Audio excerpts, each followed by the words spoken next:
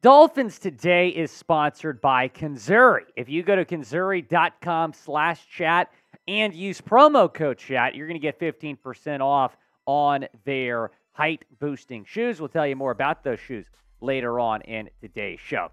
Dolphins fans, I am Will Scott. Welcome in to Dolphins today. The Dolphins have been busy making some signings as of late.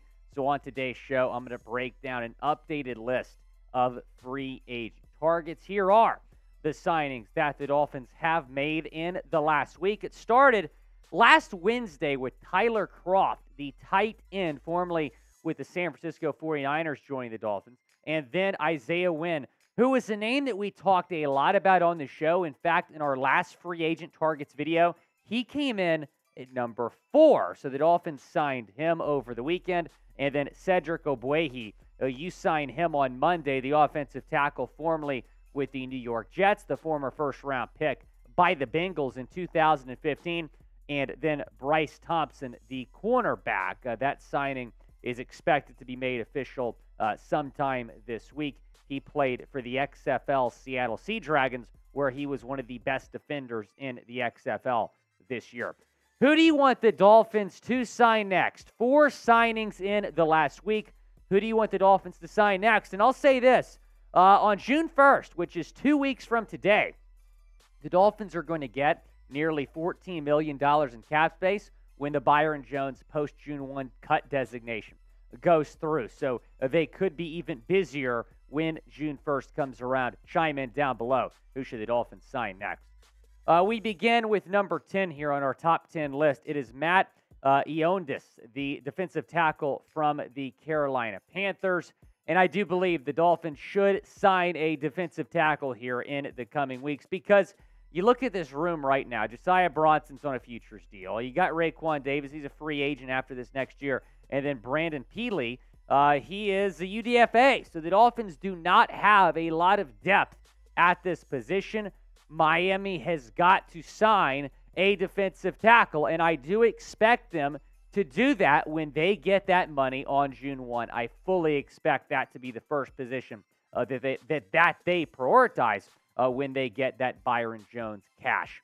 Kwon Alexander coming in at number nine, the linebacker that played last season with the New York Jets, formerly uh, with the New Orleans Saints as well. I've been following Kwon for a long time. He played at LSU, so I've been uh, watching this guy play for a long time as an LSU fan and really like what Alexander brings to the table. He's consistent, hard hitting linebacker, pretty good in coverage as well.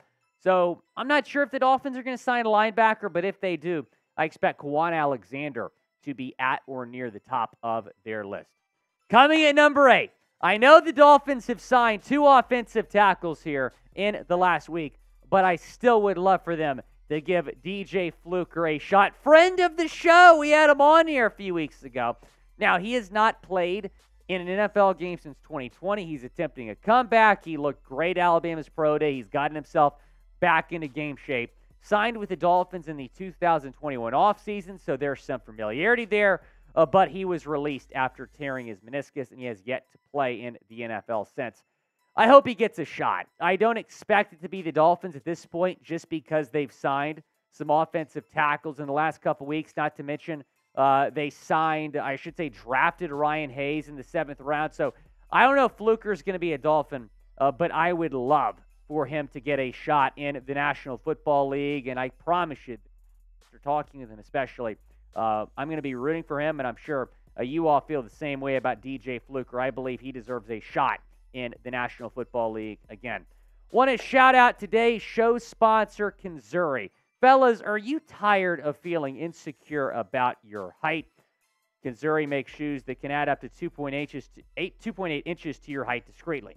Women get heels, makeup, push up bras. Why can't men get a confidence boost as well? We're all the same height lying down anyway, if you know what I mean. Conzuri shoes are not only height boosting, but also stylish and comfortable. They're not grandpa's Velcro shoes, but fashionable shoes that can receive compliments even without the height increase. The height insoles are integrated into the shoes, making it the ultimate height hack. For a limited time, Conzuri is offering our viewers an exclusive discount of 15% off on top of their up to 30% site wide discount. Use code chat at Conzuri.com slash chat to get your 45% off. Don't wait any longer. Upgrade your shoe game and confidence now at Conzuri.com slash chat. When I want to get high, I put on a pair of Conzuris. The link is in the comments and the description of today's show. Again, Conzuri.com slash chat, promo code chat to get up to 45% off. It certainly helped my confidence. I'm five foot nine. Conzuri's helped me out getting up to six feet tall. Moving on to number seven on our list, it is AJ Cann, the guard, formerly with the Houston Texans. I like him. Uh, I don't know if I like him a lot, but I like him more than, let's say, Liam Eichenberg. Taking a look at the PFF grades from last season in Houston, a 66.6 overall grade. Pass blocking grades, a 64.8. Run blocking grade, a 63.9. Uh, he's an upgrade over Liam Eichenberg. There's no question about that. Now, is he a really good guard? I don't know if I'd say really good. I think he's solid.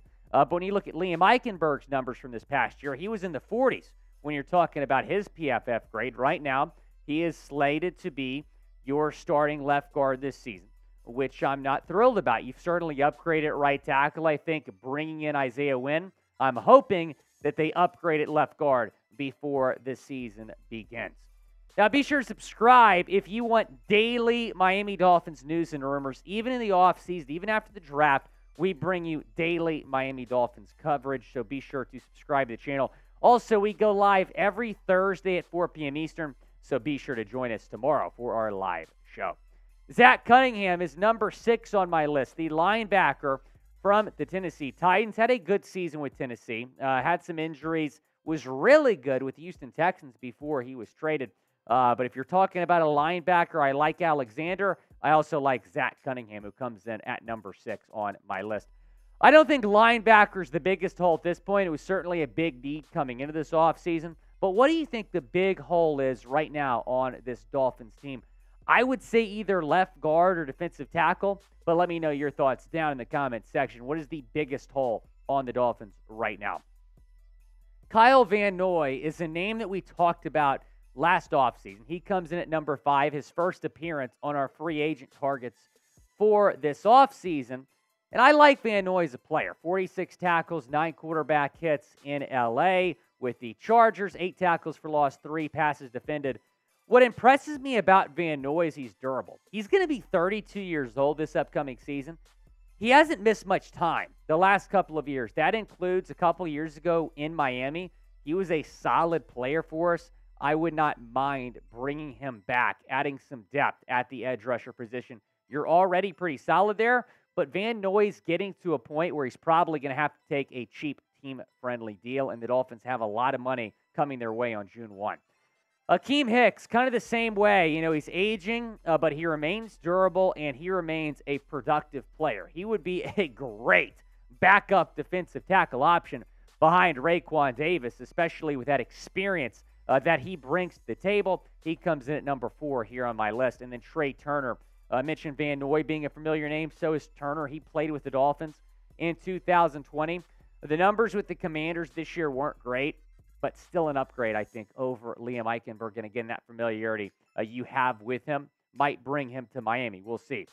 Number two is Shelby Harris, the defensive lineman from the Seattle Seahawks. I really like the idea of signing Shelby Harris. I don't think he's going to be super cheap, but again, that June 1 money could help you bring in a guy like Harris, who had a good season in Seattle, a 73.2 PFF grade, two sacks, six quarterback hits, 44 tackles for Harris in Seattle. Do you want to sign Shelby Harris? Type S for sign or type P for pass down in the comments section. He comes in at number two on my list. Let me know your thoughts down in the comments. Number one on my list is Dalton Risner. So Cameron Fleming, he was number one before they signed Wynn, but now they brought in Wynn. Uh, Cam Fleming is not going to be signed, so he's replaced for the top spot by his former Broncos teammate Dalton Risner. Taking a look at the numbers from this past year, he certainly brings in a lot of experience. Uh, this was far from his best season. But at the same time, I look at that pass block grade, 72.6. I want to bring in a guard uh, that you can trust to protect Tua Tagovailoa. This offensive line, all of a sudden, is really solid if you bring in Dalton Risner. It'd be Terron Armstead, Dalton Risner, Connor Williams, Robert Hunt, Isaiah Wynn.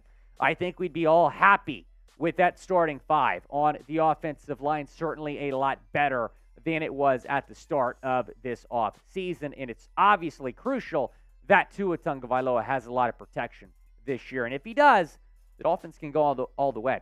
Be sure to subscribe to the channel, youtube.com slash Dolphins News. Looking forward to seeing y'all during our live show tomorrow.